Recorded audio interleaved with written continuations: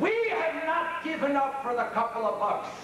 We didn't sell out God for that green power. It takes a lot of guts.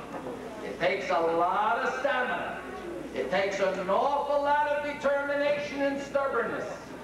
Ladies and gentlemen, tonight's get-together is to proclaim to the world we must keep the communities going. We must keep Jewish dignity going. We will go to Eretz Yisrael with Mashiach under the banner of the heavens of the Zimtzai.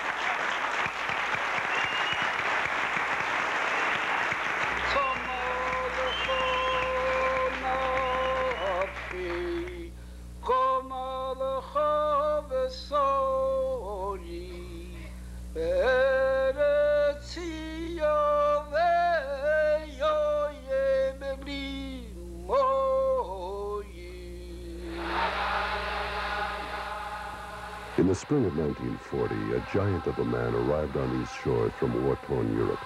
Rabbi Joseph Isaac Schneerson, the Lubavitcher Rebbe, world-renowned for his self-sacrifice on behalf of the Jewish people.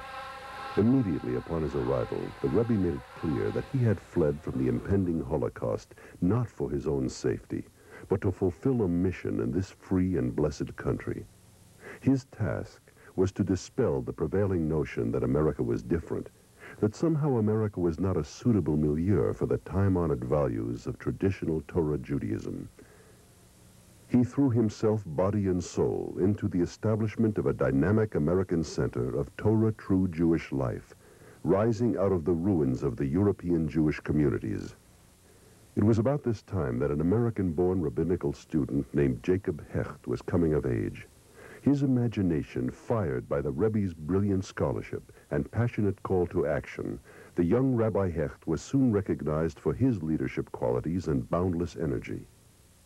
He worked with both of the Rebbe's sons-in-law, Rabbi Shmaryahu Gurary and Rabbi Menachem M. Schneerson, teaching in Talmud Torahs and in the first wave of Jewish release time classes for public school students.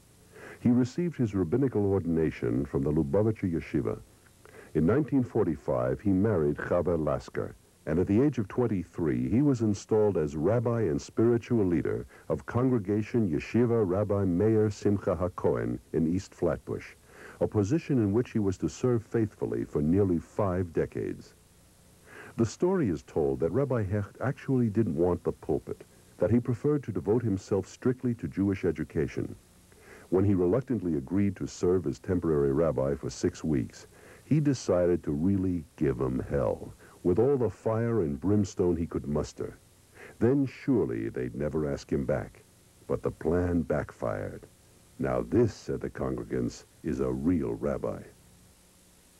But the greatest honors and his greatest accomplishments were yet to come, for as executive vice president of the National Committee for Furtherance of Jewish Education, Rabbi Jacob J. Hecht was destined to lift up the hearts and minds and transform the lives of tens of thousands of people throughout the world. Release Time was the National Committee's first major undertaking. The controversial program in which public school students are excused from school one hour each week for religious education in the denomination of their choice was first approved by the New York State Legislature in 1940. But it was not until 1952 that the Supreme Court upheld its constitutionality. And even then, Rabbi Hecht had to fight an uphill battle to win over those in the Jewish community who mistakenly believed that release time posed a danger to Jewish education. Since then, with the help of God, generations have been saved from the ill winds of assimilation. In the course of 50 years, nearly 200,000 kids have attended release time classes. Many among them are now rabbis, teachers, and community leaders who otherwise would have remained ignorant of their heritage. In the 1950s, Rabbi Menachem Schneerson succeeded his father-in-law as Rebbe of the rapidly expanding Lubavitch movement. Rabbi Hecht's father, Samuel, was a wholesaler of dry goods on the Lower East Side. Like most fathers, he had hoped his son would enter the business. But the Lubavitcher Rebbe had other plans for the flamboyant young man. He's better suited to my business, the Rebbe said. And well suited he was. Under his inspired leadership, the National Committee initiated a series of projects which would continue to grow in the decades to come. In 1953, Camp Emunah was founded in the Catskill Mountains, a summer sleepaway camp for Jewish girls, the first of its kind, under the direction of Rebbetzin Chava. The word emuna means faith, and the Camp Emunah experience has served through the years to reinforce the children's faith and appreciation of their heritage. Of the myriad projects undertaken by Rabbi Hecht throughout his life, Camp Emunah always commanded a special place in his heart.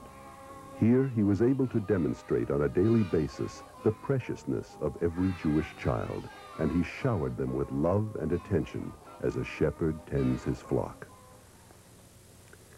The release time program spawned a network of Mesibos Shabbos clubs and day camps to strengthen Jewish identity and the love of Judaism among children from assimilated backgrounds. Today, Machne Yisrael day camps are still thriving with a new branch recently opened in Brooklyn's Park Slope section. It was in 1954 that Rabbi Hecht began broadcasting his popular radio program Shema Yisrael, utilizing the miracle of contemporary communications technology to deliver his incisive twice-weekly message on the beauty of a Torah way of life. With his anti-Shmad campaign, he waged fierce battle against the scourge of assimilation, intermarriage, and cults. And when he learned that insidious missionary movements had been targeting ailing and disabled Jewish children with their holiday season crusade, he jumped into the fray with toys for hospitalized children, bringing Hanukkah cheer to those unfortunate Jewish kids and a non-sectarian message of hope to Gentile children as well. Hanukkah is a time of miracles. You can have a miracle. Everything will be okay. Amen. Happy Hanukkah. Happy Hanukkah. Those who knew him know that nothing was more precious or more pleasurable to Rabbi Jacob J. Hecht than the art of giving. No distance was too great, no need too trivial for his magnanimous hand. When in 1958 Israel's Ministry of Religion made an urgent appeal for Sifrei Torah, he grasped the opportunity to give the most precious gift of all. He arranged to bring over 100 Torah scrolls to grateful communities in the Holy Land and he laid the foundation for yet another vital project, the Colony of Hope, conceived as a home for orphaned, homeless, and destitute children.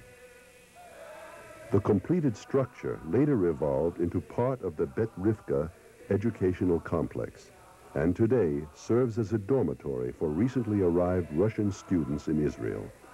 Of course, no sojourn in Israel would be complete without taking time out to pray at the holy sites.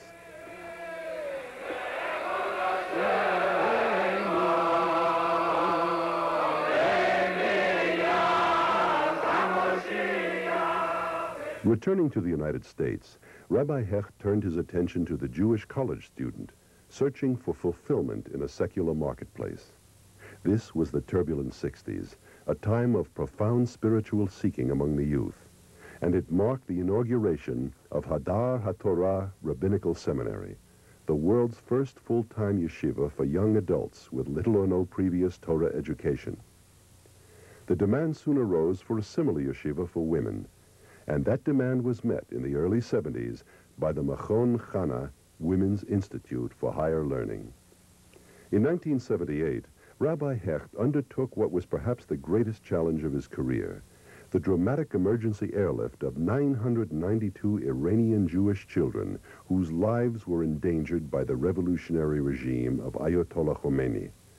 Once they had arrived safely in America, the National Committee spared no effort and no expense in placing these youngsters in hastily converted dormitories and in homes within the Jewish community.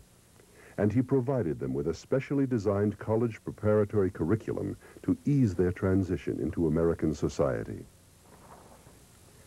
Yet another breakthrough took place in 1985, the first year of the Ivy League Torah study program.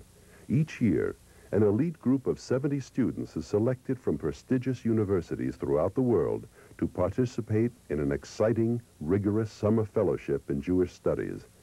These are the future leaders of our Jewish communities, and for many, the Ivy League program is their first opportunity to learn and live the authentic, original teachings of Judaism. In recent years, the tragedy of alcohol and drug abuse has emerged as one of the most serious problems plaguing our society. Once again, the National Committee has taken a stand on the front lines of the battlefield with Operation Survival, a comprehensive, multi-ethnic, community-wide program of education and prevention.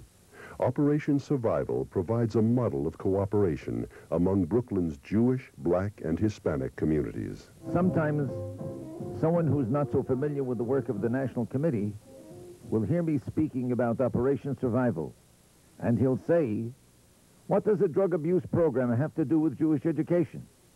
And I'll answer, everything. Jewish education doesn't take place in some ivory tower.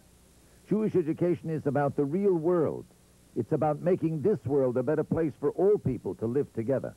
Rabbi Hecht served as official interpreter for the Lubavitcher Rebbe's public addresses and Torah discourses, which are broadcast throughout the world. A difficult assignment, and one which he always approached with trepidation and humility.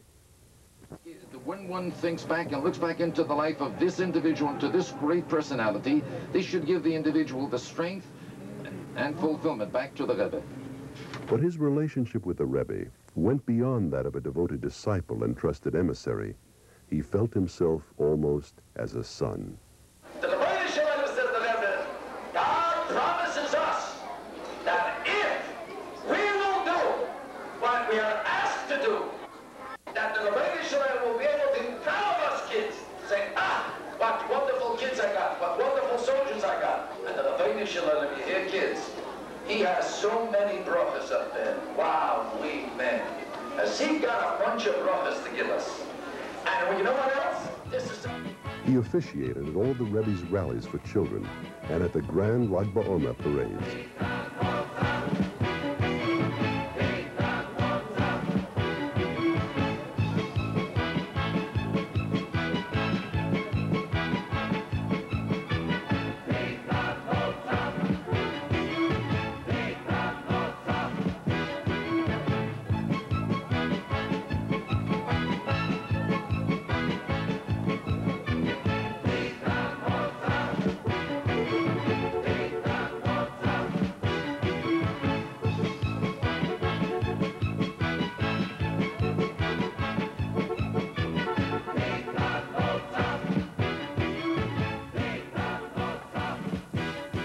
1989, he was master of ceremonies for this historic event, a live broadcast of an international Hanukkah celebration with satellite television linking up the simultaneous festivities in New York, in London, in Paris, at the Great Synagogue in Moscow, and at the western wall of the Temple Mount in the holy city of Jerusalem. Throughout Rabbi Hecht's illustrious career, government leaders of every political persuasion considered him a close personal friend as well as a spiritual counselor and an outspoken advocate for the concerns of the Jewish community. He was a member of the President's Task Force on Volunteerism, a delegate to the White House Conferences on Education and Aging, an executive member of Morality and Media, honorary chaplain of Kings County Jewish War Veterans, senior chaplain of the Society for the Prevention of Cruelty to Children, president of the International Council of Orthodox Rabbis, and he was appointed by Governor Mario Cuomo to the Suicide Prevention Committee and the Prince Commission for Judicial Review. He was a prolific communicator. His weekly newspaper columns and myriad publications touched the lives of countless thousands, including the Jewish children of the Soviet Union who are just beginning to emerge from generations of religious oppression and as a fiery orator on the radio and in frequent speaking engagements on five continents, he had no peer. Yet he always made time for the individual in need, to arrange an interest-free loan, to help find a job, to provide counseling for a shaky marriage or a troubled child.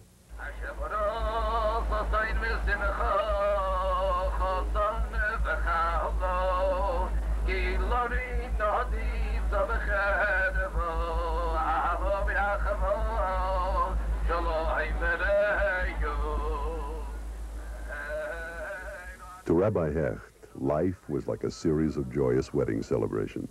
He was a matchmaker, forever making marriages between bodies and souls, between heaven and earth, between those in need and those in a position to give, between Almighty God and his people Israel.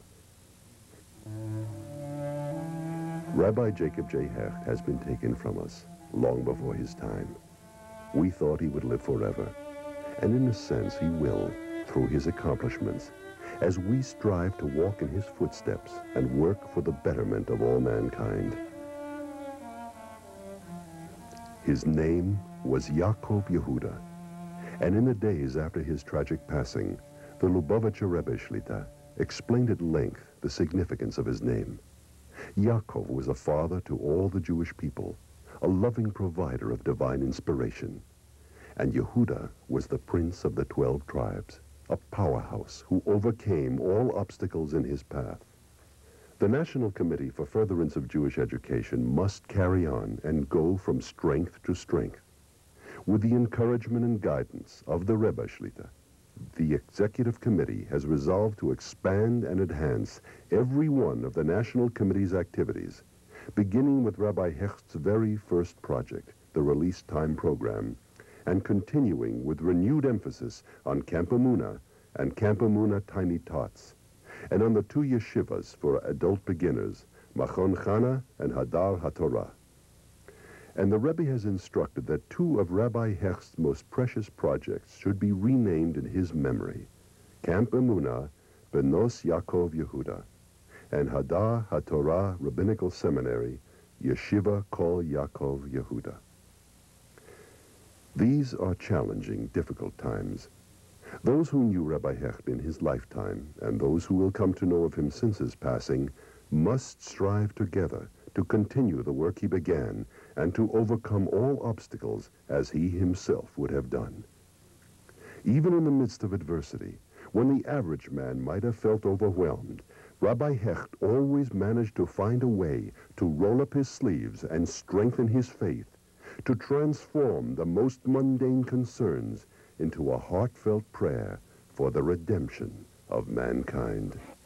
I know from myself when I don't pay my bills on time, and I never do, I always get a statement that says with a red stamp, past due, please remit. The It's past due for Mashiach. Please remit now.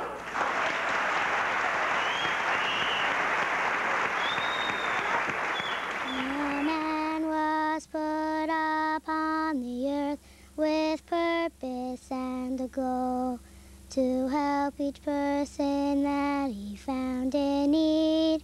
To him no task was menial, to him no task was tall. As our captain, he stood ready for his call. We stand today in tribute to our tower of a man. A force so strong has left us all alone. Life so full of giving, never asking in return. A life so full of fire, a life so full of strength.